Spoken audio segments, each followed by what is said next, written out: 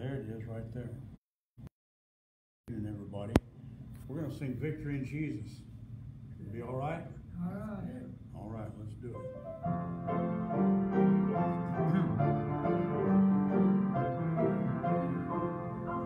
I heard an old, old story Our Savior came from glory. How he gave his life on Calvary save a wretch like me. I heard about his groaning, of his precious blood's atoning. Then I repented of my sin and won the victory. Oh, victory in Jesus, my Savior forever. He sought me and he bought me with his redeeming blood.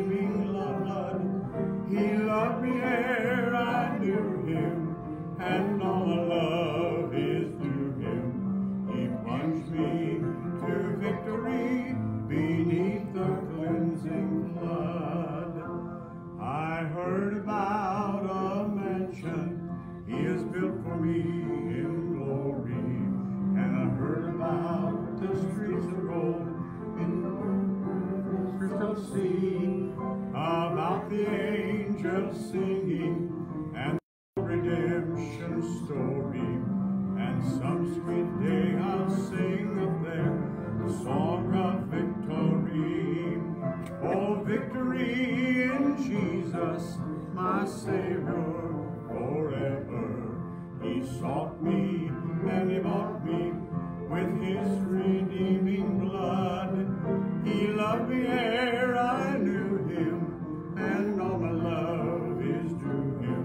He plunged me to victory beneath the cleansing flood. You know what? I'm looking at this list right here. Turn your eyes upon Jesus. Let's get, I get the right key for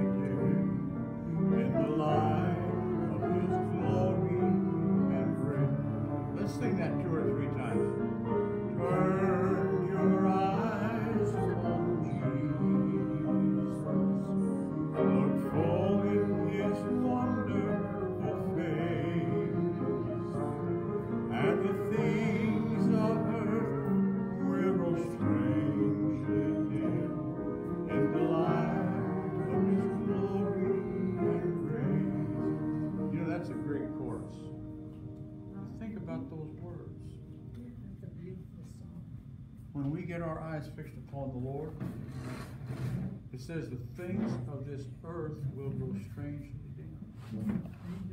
We get so caught up in all the everyday rigors that we're going, especially now. People are still so fearful. You know, I can't, I can't believe, we'll talk a little bit about it. I, I'm having such a hard time understanding how the, our government officials could just disband and go home. When there's so many people hurting, so many people in need. Well, we're gonna take a break. It just amazes me. Where's the concern? I know people right now are saying, wait, it's, a little hard right now to turn my eyes upon Jesus. I'm kind of worried about how I'm gonna pay the rent, how I'm gonna buy food for the family and all the other needs. I know one thing God also and will always make a way for us to know Christ as Savior. What a privilege to know Him and to be able to turn our eyes upon Him. The amazing thing is He responds to us.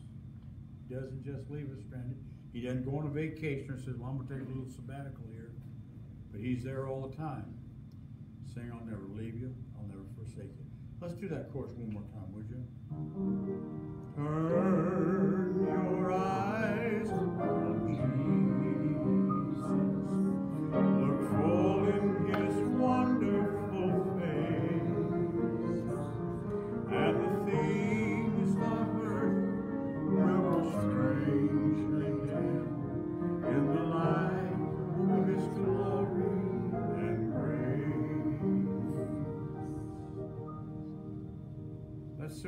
Song in a minute. Brother Jim Henning, would you ask the Lord's blessing upon our meeting here tonight? would you? Thank you, Heavenly Father, for your grace, love, and mercy. Thank you for your power. Yes. Thank you for your presence. You're not just the God out there, but you're the God who is here. It's a spiritual thing. Tune in to your spirit and your ministry in our lives. Help us tonight to do that as we go through this service. Pour out of your spirit upon us. Anoint your ministering servant, I pray. May there be accomplished here tonight what pleases you. Yes. In Jesus' precious name, amen. Amen.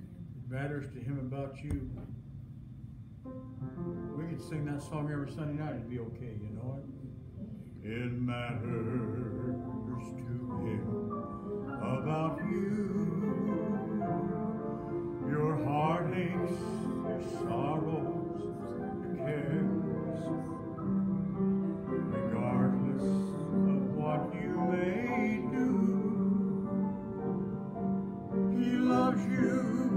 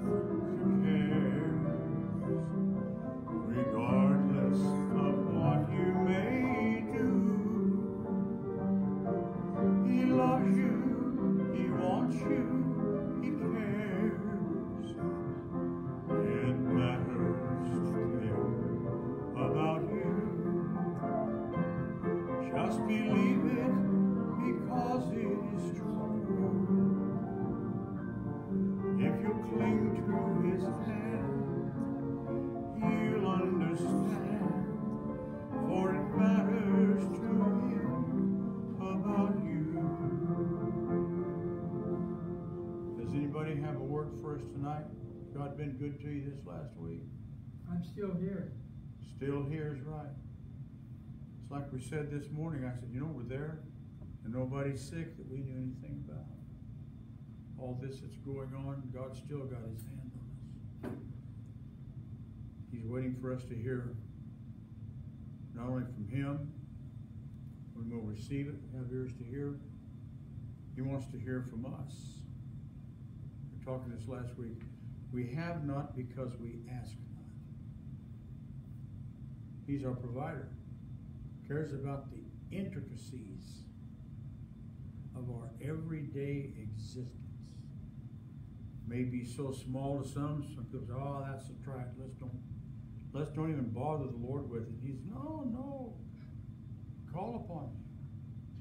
All those things, if it means something to us, if it's strong enough, it could be a stronghold. So before it even gets that way, says casting all your care, not some of it, but all your care upon him because he cares for you. There is a name I love to hear. I love to, you know, I never get tired of those old songs. Some people don't like the old songs. I tell you what, there's, there's, you know, we, we, listen, right now, let's just say, we can do some of the older songs, I mean, newer songs, along with the older songs. And, uh, we'll consider doing that, as long as it's some, not some repetitious thing that hadn't got a message to it. I don't mind doing some more contemporary songs if they got a message. If they don't have a message, why sing them? That's You think about the words of these old songs. Blessed assurance, Jesus is mine.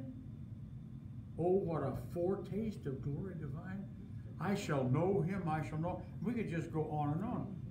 Those are strong words right out of the Word of God. They have meaning, not just some kind of fluff. We can go through some kind of Richard Simmons spiritual geriatrics in church. I, that's the way I feel about it. If it has a message, let's do it. If it makes sense, let's do it. If it's something you can sing to, let's do it. Well, Brother Quick, if you'll give us a chord or a key there, we'll sing this song. There is a name I love to hear, I love to see. It's worth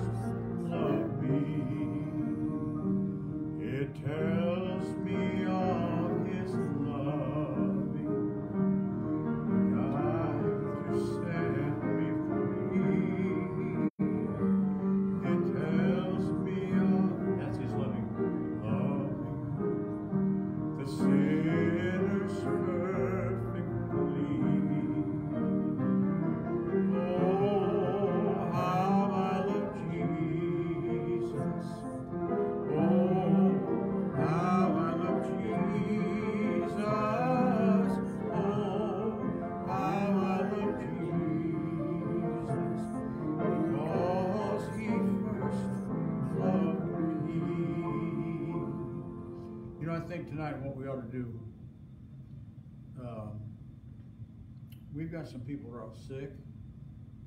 Got some people who are hurting tonight, physical problems.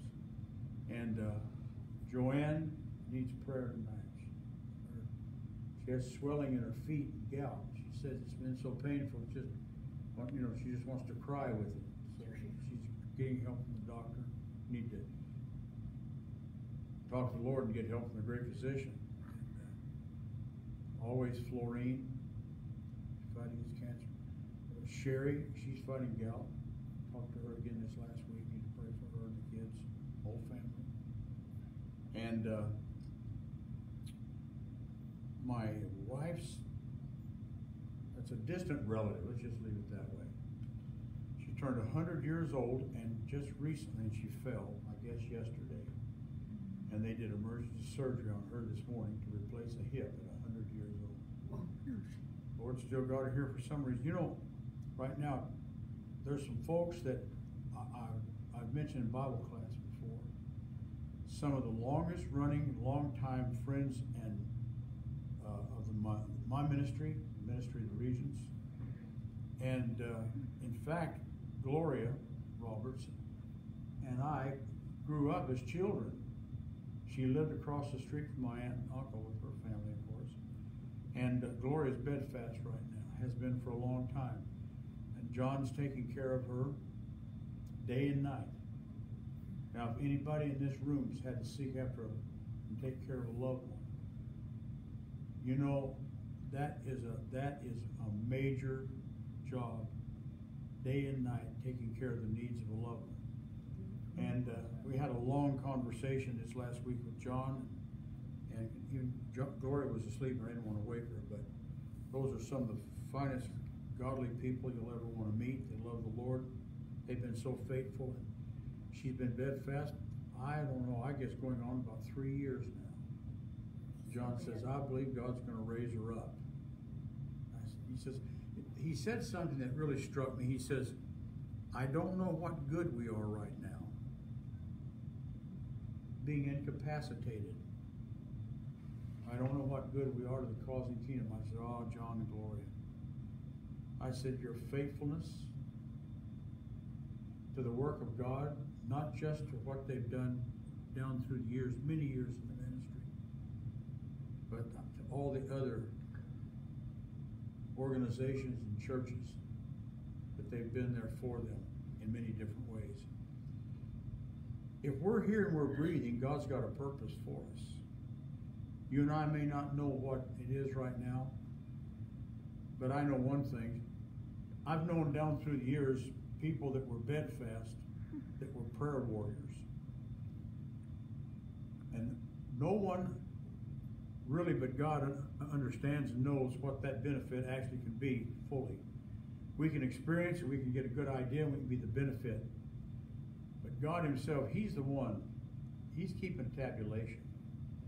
And those people that are bedfast and homebound and they restricted, and the prayer warrior, what a difference it makes for the cause and kingdom, for the work of the Lord to go forward. Never count it short of what you can do for the Lord when you're doing your best.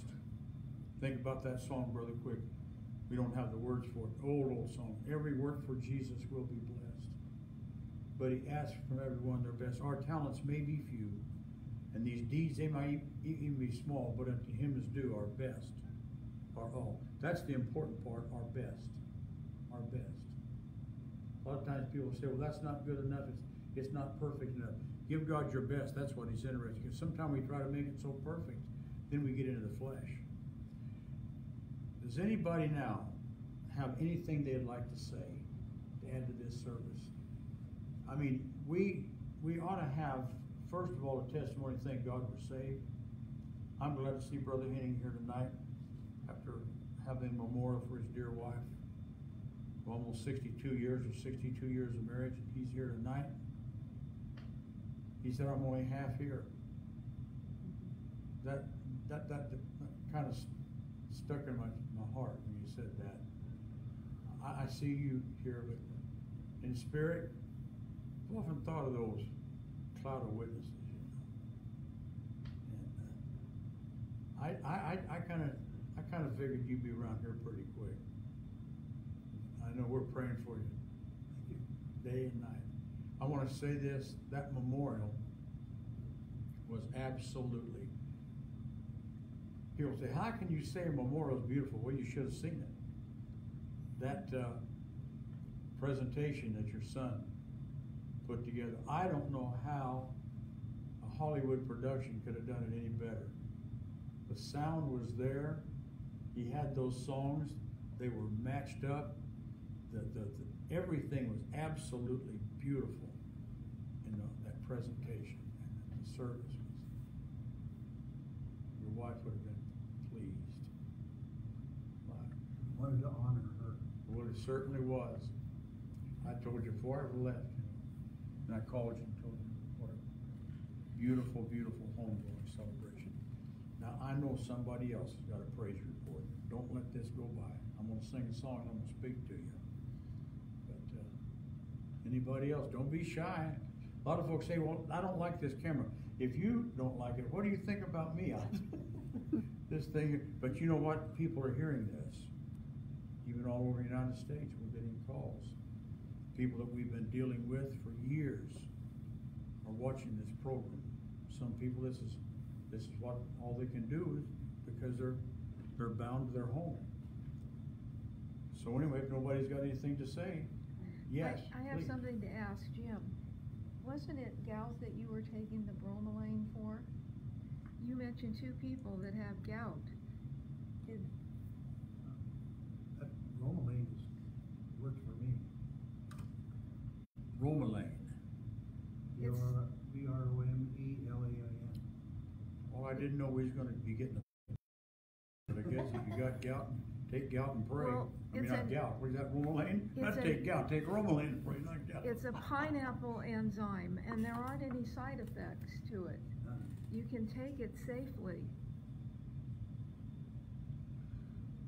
I There don't are think so it's- many properties in uh, pineapple, a lot of different fruits and vegetables that, that, uh, you know, uh, as soon as I look around my cousin, uh, we got Hatfield blood in us. And, uh, those people, they cook stuff on top of the stove. And, uh, and, uh, yeah, her, her grandmother, my grandmother, of course, they're two different grandmothers, they were sisters, were Hatfield, from that fighting bunch, you know. And, of course, they love the Lord, that, let me make that clear, all things all changing down the way, but they, they would, they would cook all kinds of stuff on top of the stove. Guess you, what do you call that, holistic? Is that what that is? With vegetables and, uh, uh, Somebody help me, cause I thought that's what it was. I don't know. It might be. Well, as much as you know about fruits and vegetables, I thought you definitely have the answer to that. And I believe that's what it is. There's so many things that God has given us already that work. But, uh, I don't know if the drugstores and manufacturers like it quite that well, you know, because we got some cures that be done pretty cheap instead of. I couldn't believe it. My doctor wanted to put me on a medication. I thought, well, that sounds good because they're advertising on television. Somebody's got to pay for that advertisement. And uh, they wanted me to help. That's boiled down to. And I couldn't believe it. They wanted uh, twenty-nine hundred and ten dollars a month for that. I- I was gonna tell you the name of it, somebody may not like that. And it's, it's very popular. It's on television right now. Every few minutes they advertise this stuff, you know? And, uh, no wonder they advertise this stuff. Twenty-nine hundred and ten dollars. The amazing thing, let me say this now. My doctor says, well, let's look and see where we can get it from Canada. Ah, Fifty dollars a month. And if you get ninety days, it's like something like a hundred and thirty-seven for ninety days. Instead of twenty-nine hundred and ten dollars a month. Now, there's something wrong here with what's going on at the drugstore. And I just hope and pray that our president, I know you may not like him, but I do. But anyway, we need to pray for him anyway, whether you like him or not. I may get, don't send any cards and letters. I, I think we're supposed to pray for those that have the rule over us. That's what I read in the Bible. Before I get myself any more jeopardy, anybody else have anything you wanna say before I put my foot in my mouth again? Yeah, well, I asked prayer for one of our friends. He had COVID and had a real serious case of it two or three months ago, and he got over that finally. He was in the hospital, but then ten days ago, his, he just started shutting down his kidneys and different things, and they don't really know. His gallbladder apparently has some problems, but they gotta get him back, but apparently they put him in rehab, and so he's probably gonna come home Wednesday, but he called not this Saturday, but Saturday before, our pastor, because he thought he was gonna die, and he wanted, you know. They had COVID?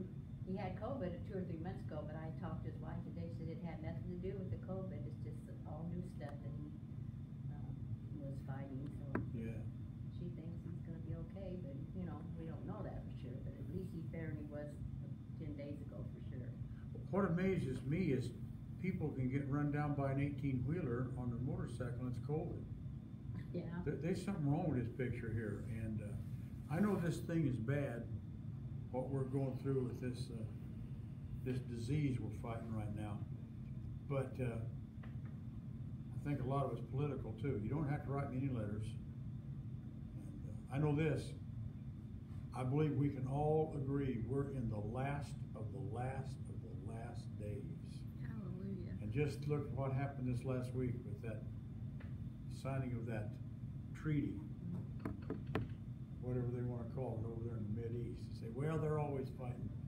Yeah, I realize, I know one thing, it's just another sign. We're nearer home than we were yesterday, and I think it's not gonna be very long until he splits the eastern sky. And I believe our Heavenly Father's gonna say, son, go get your children. I think we're very, very close. I told my daughter the other day, I said, if I don't see the, the rapture, I said, I believe you're going to. And I, I really do, I believe, people have been saying that for two thousand years, but you look where we are right now. Now, I, help me out here, I know Brother Henning prayed, did we pray for all the sick people at request? Not yet. Not yet, please. No.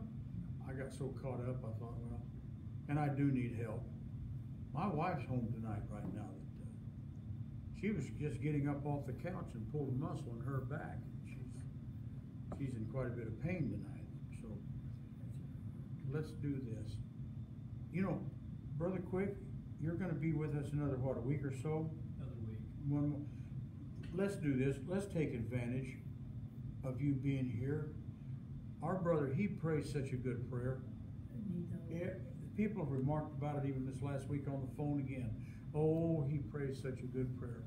And I know you heard these requests, and even if you maybe forget some of them. I know that they've been brought up before the Lord. If you'd pray for these requests, I'd really appreciate it, brother.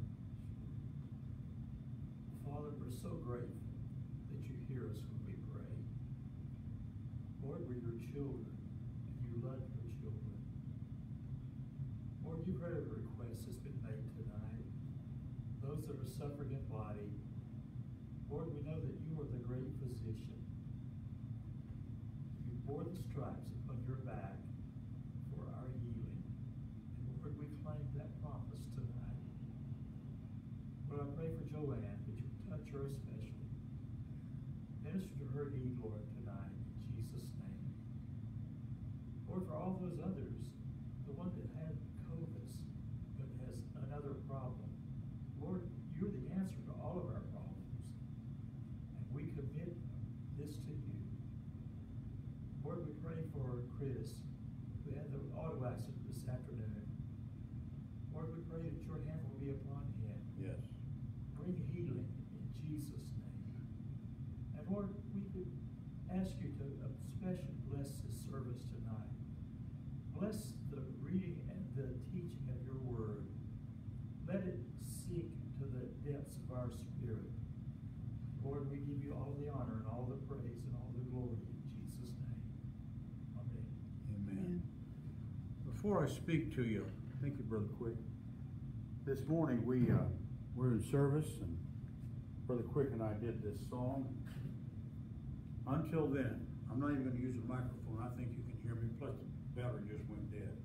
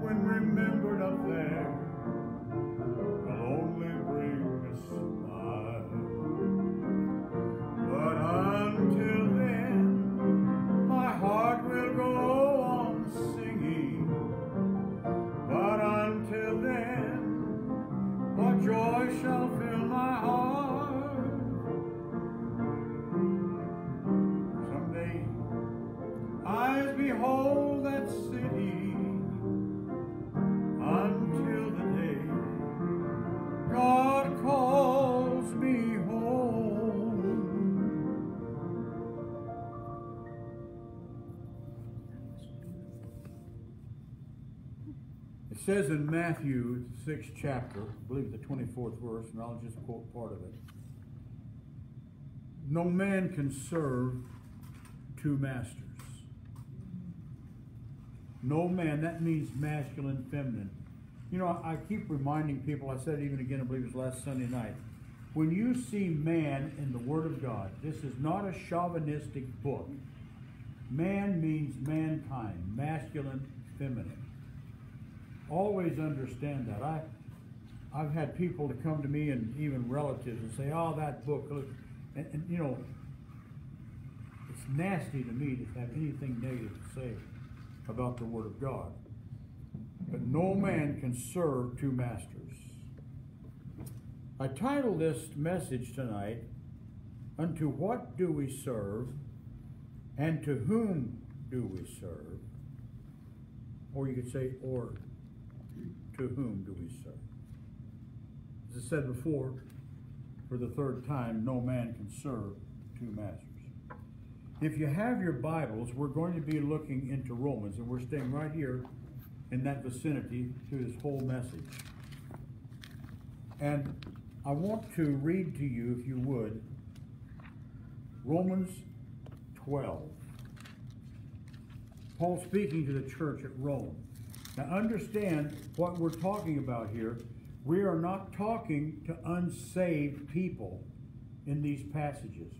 We're talking to the church, we're talking to the born again believers. Now, I want to use this passage tonight for just one or two verses, and then in the very near future, maybe even next week, I want to preach a whole message on this, these two verses. But I want to set this message up first with these two verses. Paul writes in Romans, 12th chapter, verses 1 and 2.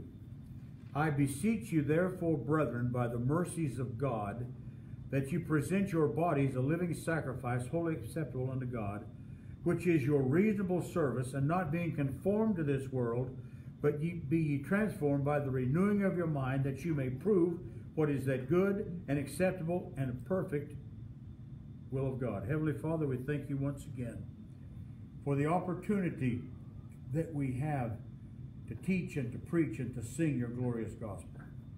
Lord, may we never take it lightly that you trust us with your word.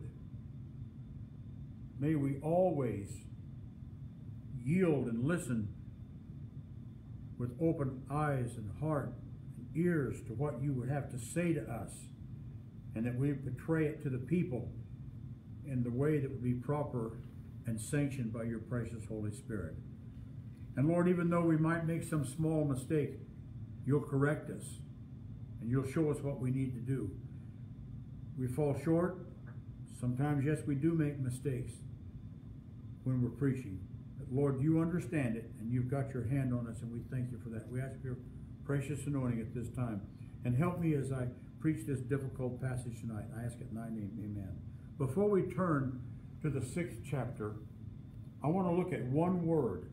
This word has been over and over in my mind, among many other words, but this one in particular tonight, of all the words that are so golden in this passage that we just read, there's there's so much here. You could preach a message on so many different words in this passage, but one in particular, reasonable. Reasonable. All my life growing up, I would hear my parents say, especially my dad, son, you got to be reasonable. You got to be reasonable. The Word of God says, come let us reason. I've said this before.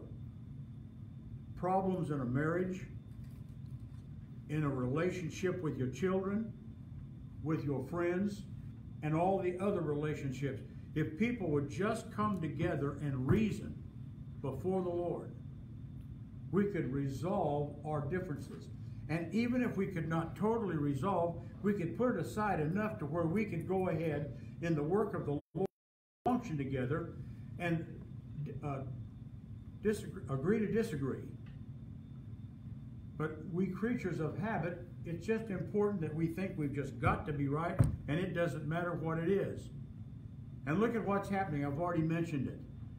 We've got our political parties that are farther apart right now than they've ever been in the history of this United States. It's nasty. Didn't mean to get back on that tonight, but that's enough said about it. The word reasonable, I, I wanted to say, let's, I know what reasonable means, but let's take a look. I, I got my dictionary out again. I do that a lot. In fact, as I'm studying, I've got my Webster's dictionary right there beside me. I want I want to see exactly what Webster has to say in some of his cohorts. I begin to look at this. Fitting, reasonable, proper, appropriate, right thing to do, rational, rational, rational, sensible. When we consider what our Lord has done for us, it is just a normal thing in return to do good things in return for Him. And if he we love Him, He says, keep my commandments. You know, I look in the Bible, it so many times it bless the Lord, O my soul. And you, I, I, for a long time, I pondered. I thought, how, how, how do you when, when, when God's in control and owns everything? How, how do you bless the Lord when He owns it all and He's in control? I'll tell you how you bless Him. Thank you, Lord.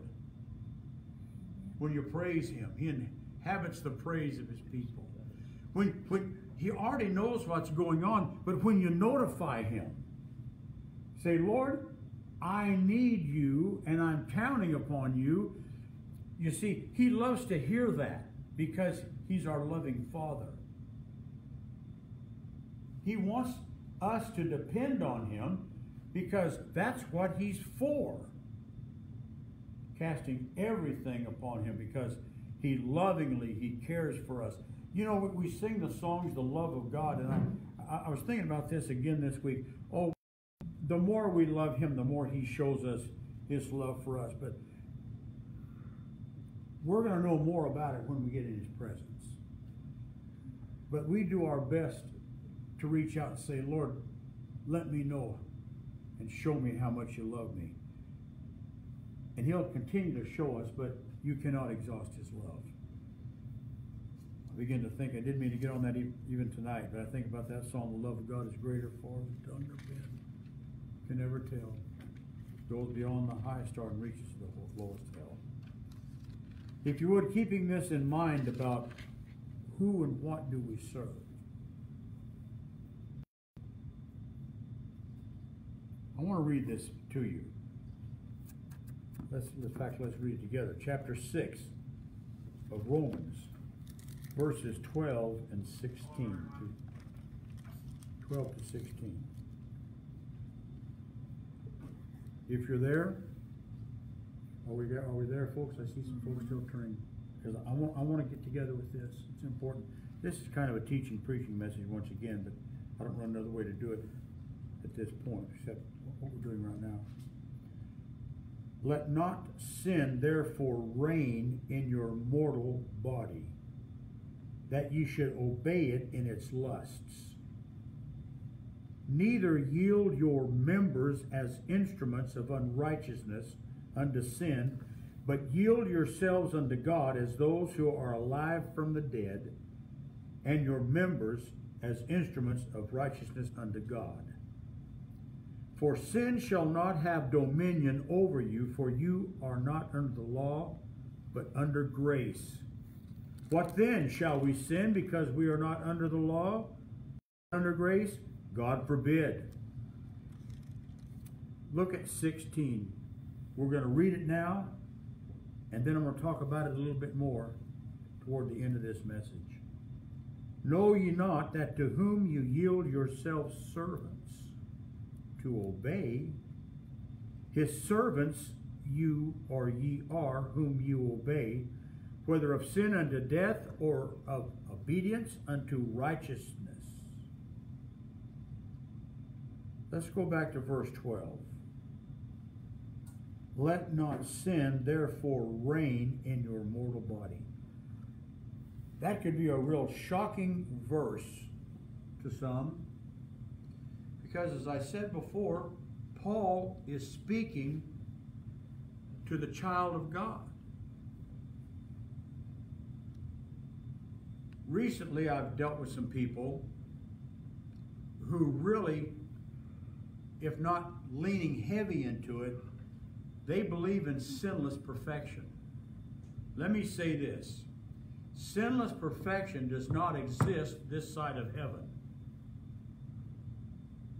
not with mankind, only with God. And that takes in the triune God that we serve God the Father, God the Son, God the Holy Spirit. There's no sin. So I want to set that straight. This mortality has not yet put on immortality. Until then, we still have a carnal nature, a sin nature, even though we're born again because we're still human. People need to understand that. But at the same time, it's not a lease or a license to sin. In fact, we're to do everything we can to stay in the Word of God, have a prayer life, be in fellowship, always stay in the Word, be a part of even hearing the Word and preached and taught, sung, whatever it takes to stay in the things of the Lord. to help us to stay straight. I've heard all kinds of preaching on television. Oh, this won't do it. This won't do it. It's only this. It's only this. I got to tell you one thing. It's the shed blood of Jesus Christ that cleanses sin. But there's another process that takes place. It's called the washing of the water of the Word. We've got to stay into this every day. I keep preaching on that night after night, I'm not going to. I'm not going to back off. I'm going to continue till the Lord calls us home. This is where it's at. This is the answer for mankind. And it says, sin shall not reign. I thought it was an interesting word because that's something that's in charge or in control. Something that's got the grip that can designate. And people say, well, how can that happen? I'll tell you what, the more and more we yield to sin, the more and more the grip can get on us, and the easier it is to get into more sin. Sin does beget sin. I don't care what anybody says. We open the door. Listen, let me let me chase this rabbit right here. What you're allowing in your home is opening up the door when it's of the devil to let all the other things come in. Now, that's not popular preaching, but some of you that's listening to me, you know I'm telling you the truth, and you may not like me for telling you this, but hell's box office and things like that got no business in your house.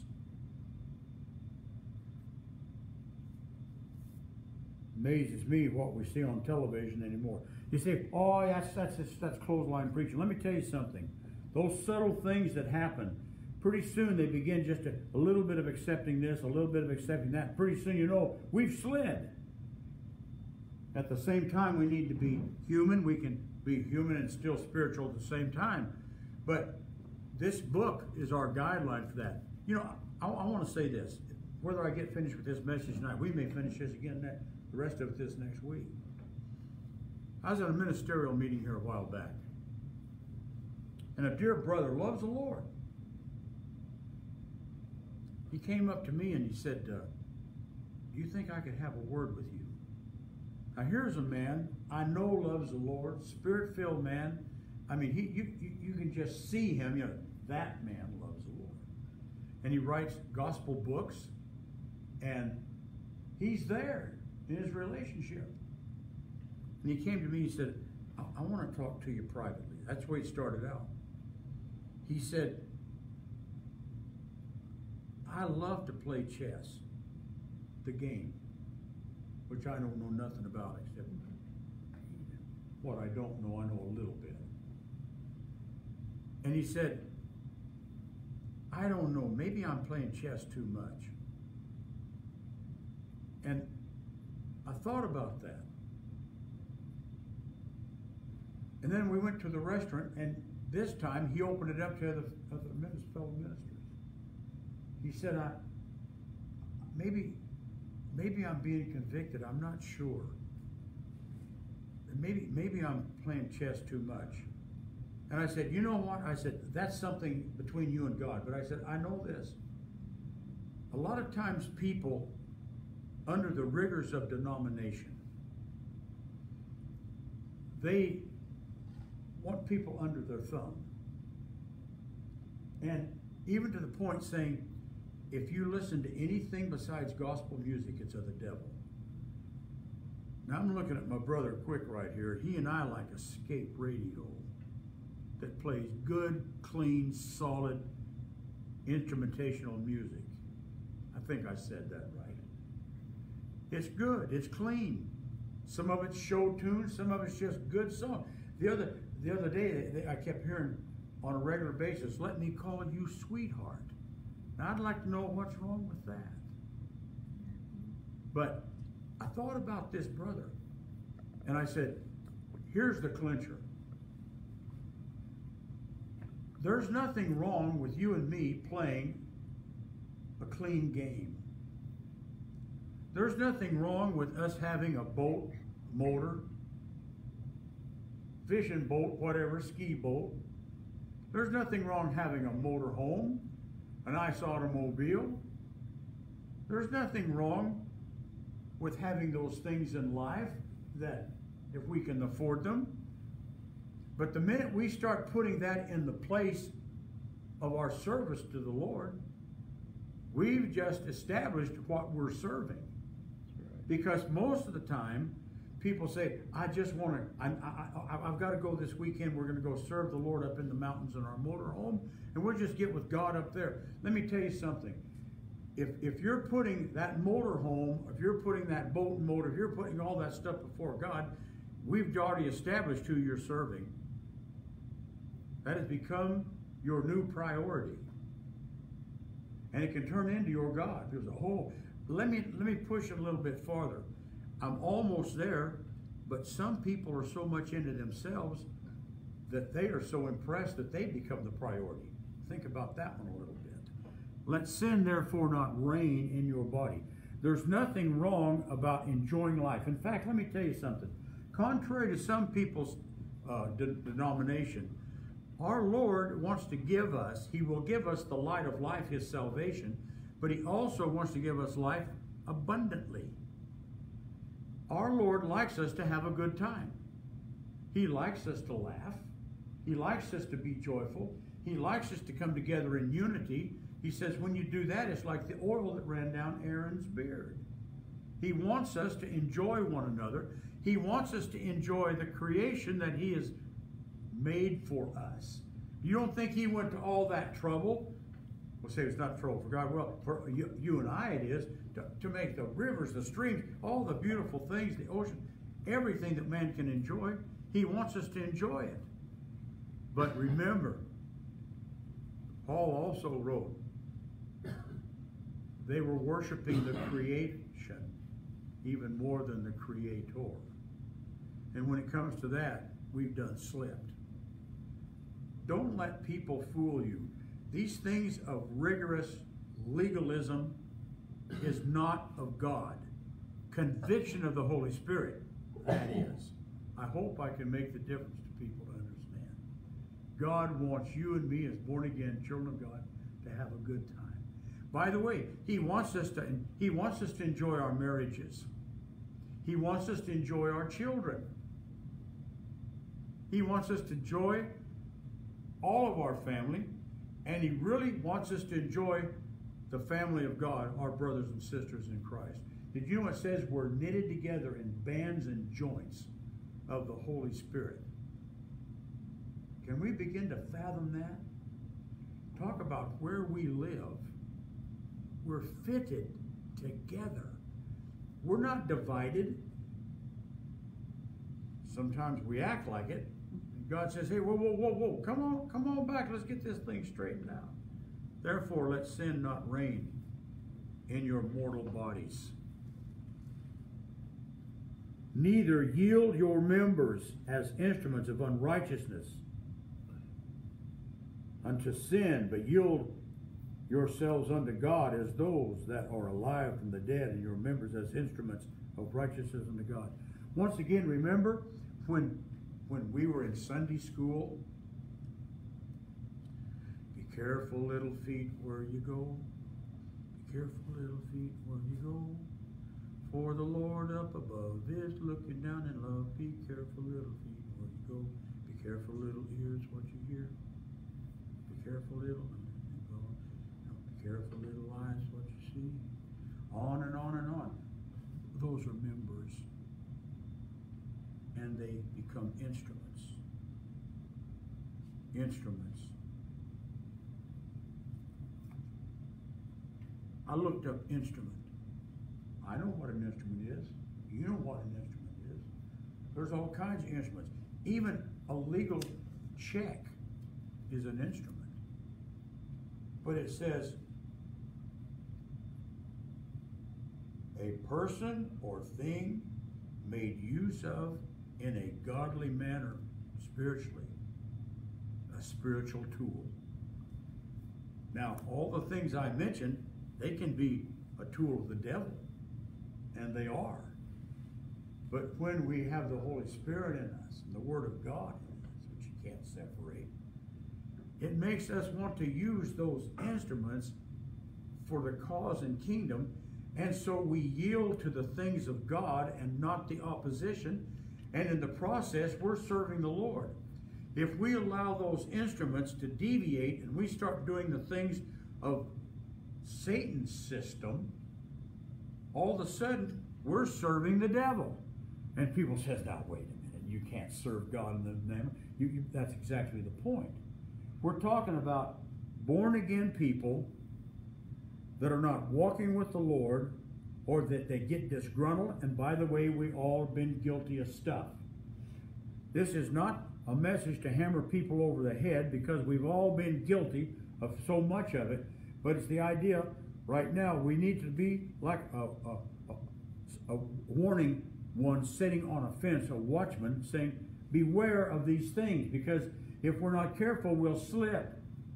Because we'll start looking at everything that we don't like instead of looking at what we do like, and we'll focus in on that, and pretty soon we won't see the blessing in what God's wanting to do for us.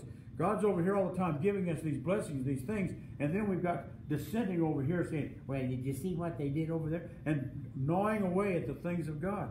And when this starts to happen, we begin to yield ourselves the other direction, and pretty soon, even the child of God doesn't realize it, but they're doing work for the devil. That's exactly what this verse says. People say, I don't see that.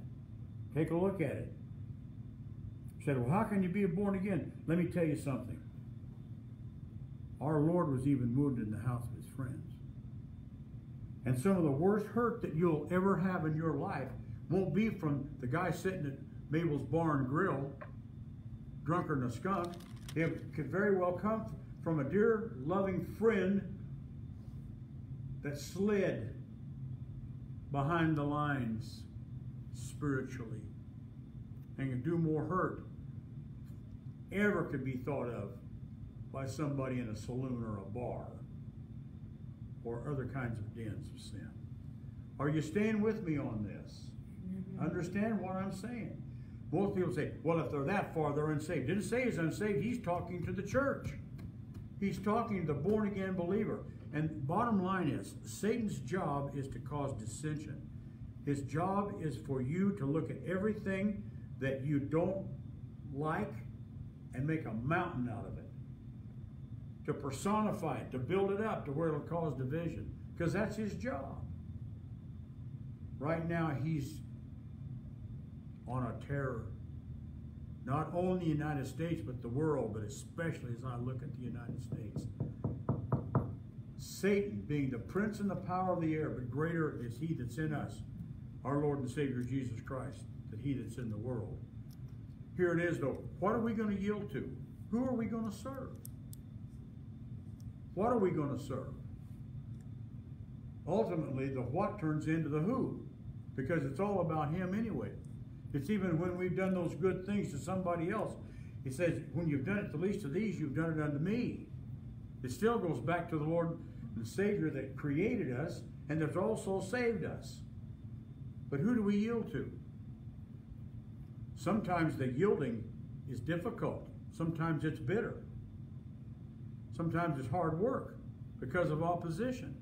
But no matter what, if we're going to have victory in our life, if we're going to have a position in the Lord that's pleasing to Him, we're going to go His way.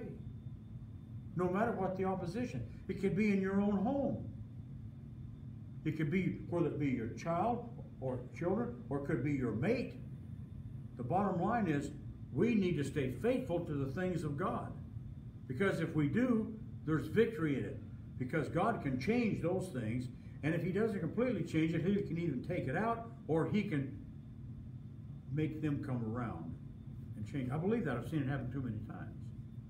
Don't despair, child of God, even what we're going through right now with all of this division and separation. Right now, we're down to less than half of what we usually are. People are afraid and I know they're praying for us. Many people are watching. And I'm looking forward to the time that we can come back. And I'm looking, you know, it's going to be such a thrill when we can come back together in unity to come together to worship like we're supposed to. To be able to get those songbooks out or whatever we're going to get out and just, and to be able to shake hands and to, to, to put our arms around each other in a proper way and to, to, to just be in worship again like we're supposed to be. Right now, this is this is at least something that we can do. We, by the way, we're sanitizing before and after we're taking. We got Purell and every kind of stuff you can think about and hand sanitizer. We're doing all this kind of stuff, so everybody relax over that. We're not trying to break the law. But at the same time, I'll be honest with you, we are standing up against it where it's right. Because we're gonna go ahead and sing and we're gonna teach and preach the gospel no matter what the government likes. That's one thing they're going to, they're stepping over the line, we're not put up with that. At least I'm not. There's people here, I believe, will back me up on that. Neither yield your members as instruments of unrighteousness unto sin. Well, we could just open that and go more and more, but I've explained quite a bit of that already. Uh, yield ourselves unto God as those that are alive from the dead. You know what that meant? Because before we got saved, we were not sick, but we were dead in trespasses and sin. And he came and made us a new creation in him when we accepted Christ as Savior, when we received him as Lord and Savior. And our instruments are of the righteousness. You see who that is? Unto God. One thing we need to remember with all of this, and I cannot bear this in mind enough. Whatever righteousness that you see in a born again child of God is not theirs. It's the righteousness of God. Because in us there is no good thing in our carnality, our humanity. But the righteousness is of God. Self righteousness is sin. But our righteousness are filthy rags. I've heard pastors get real graphic about that to the point almost make you start choking and gagging, talking about nasty, filthy rags, trying to equate that to how God would see our righteousness. Self righteousness is of the devil.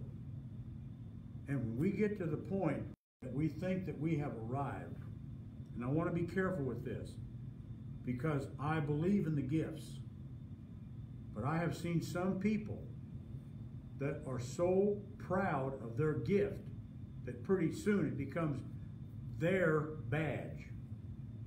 They becomes their ego. Let me tell you, when that happens, that's not of God. God doesn't work that way. And in all things, He might have the preeminence. All power, all glory, all honor. Everything goes back to Him. It's not about us. We're still mortal, but thank God we have been cleansed by the blood of the Lamb if we know Him as Savior. On our way to heaven, waiting for that, that day that we would go see our Lord, see our loved ones that's gone on. Well, I'll tell you what, I've been thinking about that more and more. I know I'm 75 years old, but more and more I think about that. When I look back at getting together with the family and how we used to have those great dinners on holidays, we either barbecued or we had tacos and all kinds of pastries and pies and made homemade ice cream. We all got together. Now, at my home, it's Flora, me, and the cat. Thank God for that. But holidays can really hurt. One thing that helps it when I get in the car and drive 300 miles and go see my daughter and grandkids. And my son-in-law's there too. I Won't leave him out. I had to smile after that. you might be listening. They watch it every now and then. You understand where I'm coming from? Yes. We, you know what, more than ever, we need to fall in love more with the Lord than we ever have, and the process, one another. Listen, there's nothing wrong with that agape love. It's a commandment. And we need to just absolutely do that more than we ever have at any other time of our life. Here we are at this point. You know, the older you get, the more, the more things you appreciate. I, I'll tell you one thing I appreciate. It feels good to be able to get out of bed in the morning. Amen. Huh? And I mean, there, there's always, oh man, you know, this. I didn't say perfect.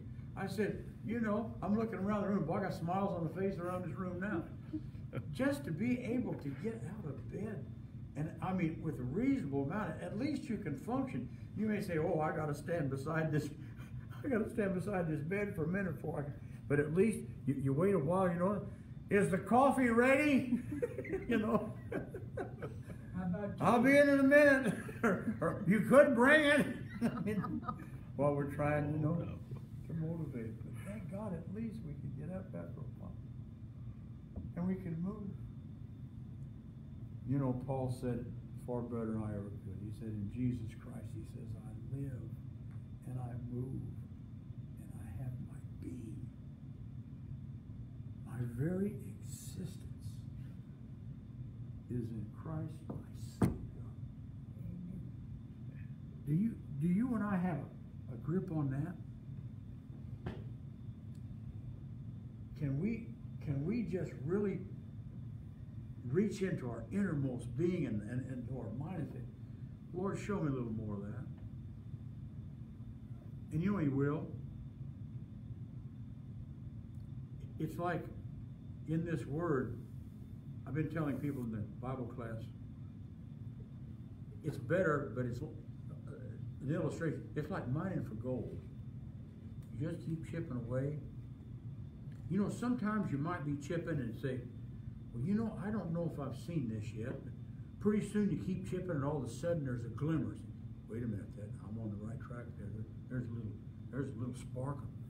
Oh, look at that, that's gold. Just keep on digging and digging, and pretty soon you find a bigger, a bigger hunk until, or you just keep going to find that, that main artery.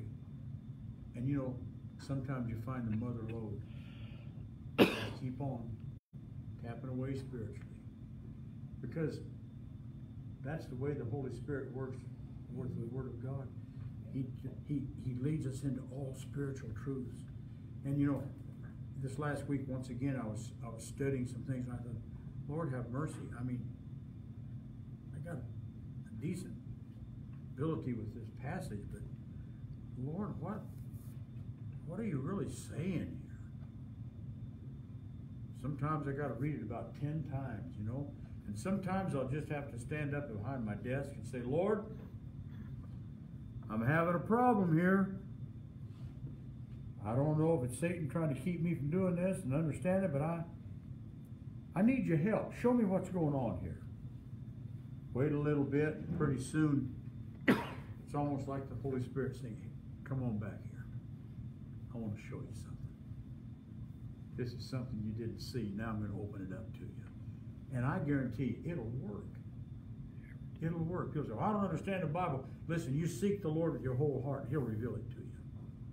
He'll show you. He'll, he'll make a way that you'll get the message.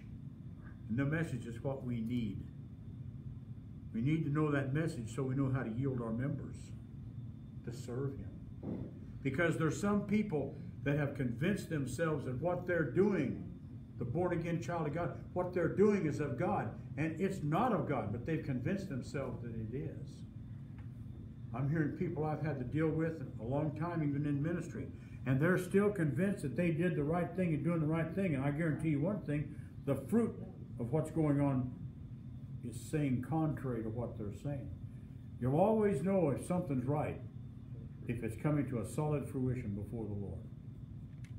There's there's the test right there.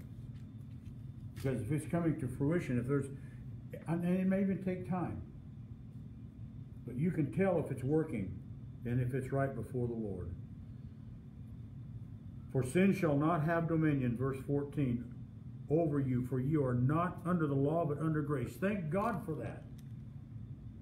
I heard a preacher here a while back say, oh, they had it a whole lot harder under law. Are you kidding? I thought, do you even have a Bible you're listening to, reading? Or who are you listening to? Let me tell you one thing Jesus paid it all 2,000 years ago. We're not under near the rigors of the law. And by the way, let me say something. There's still God's law, but we're living under grace. Still His mercy and His grace. What then? Shall we sin because we are not under the law but under grace? God forbid. And here's the clincher. Know ye not that to whom ye yield yourselves servants to obey? We ask ourselves, now who is that, Lord? His servants ye are, whom you obey, whether of sin unto death or of obedience unto righteousness. And there is the answer.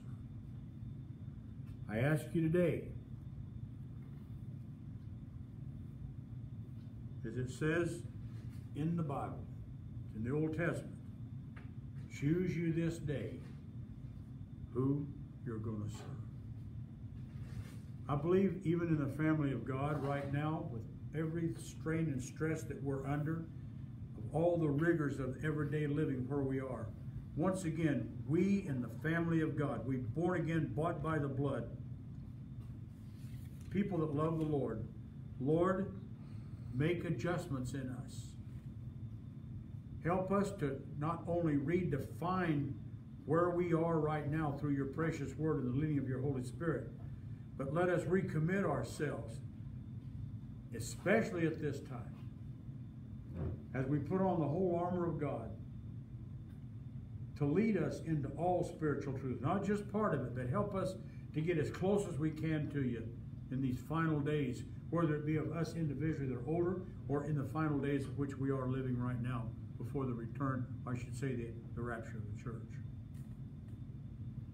The question is, are we all ready? I ask this as I've traveled around the country and even out of the United States. We've given invitation. How do we stand with God?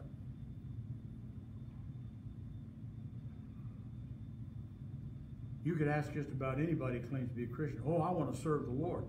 Yeah, people want to serve the Lord as long as it's convenient.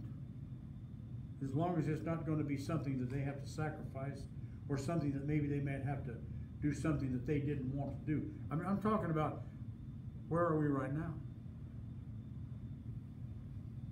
Are we willing for the Holy Spirit to make changes in us, correction of God's Word?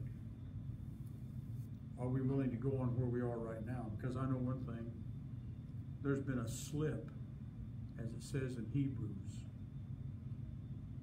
We've slipped. The church, for the most part, is nowhere close to where it used to be, even 30 years ago. We've slipped. We've become complacent. People can say what they want. Once again, God is trying to speak to us. He's speaking to everybody, but he's really speaking to his children. And he's saying, it's time, time at time to once again choose you this day. And for me and for you, who are we going to serve?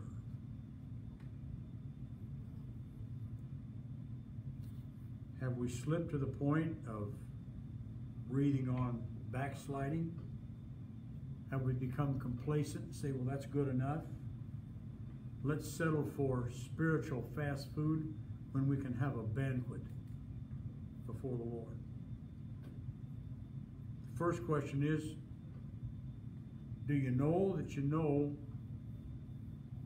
if you were to leave this life where you'll spend eternity? You're going to spend it somewhere. As the old timer said, there's a heaven to gain and a hun, uh, hell to shun. Have you made a decision where you want to go? Well, if I was to say that, oh, I want to go to heaven. Everybody wants to go to heaven. Certainly would believe in heaven. Oh, I want to go to heaven. Well, there's a requirement. We talk about it every week. We're going to talk about it all during the week and again next week and until he calls us home. There's only one way to make it to heaven through Jesus Christ. There's not a bunch of ways. The Bible says there's a way that seemeth right unto a man, but the end thereof is the way of death. Only one way to the Father, only one way to heaven through Jesus Christ. For he paid the price 2,000 years ago when he died on the cross of Calvary. Shed his blood, third day rose again for your justification and for mine. What you need to do, and I, I did it years ago, and these people in this room have joined years ago themselves in the family. is when we said, Lord, I'm in need of a Savior. I'm a sinner. I believe you died on the cross, shed your blood. I ask you to forgive me your sin, my sins. I know that's what your blood will do for me. It will cleanse me from all unrighteousness. It will cleanse me from sin. I receive you as Lord and Savior. If you can do that, you can say, even as Paul wrote, absent in the body, present with the Lord. We can say good night here, but good morning up there. I hope you will consider, first of all, if you haven't given your heart to Christ, just do that. You can do it on your own. And for you that maybe know the Lord and you're not where you're supposed to be, you might say, Lord, I recognize I've slipped. And I want you to put me back in the right place with you. He'll do that. No wise, he says, I'll cast you, I won't cast you. If you've done this and you want to get a hold of us, please make contact with us. And if not, we'll be praying for you.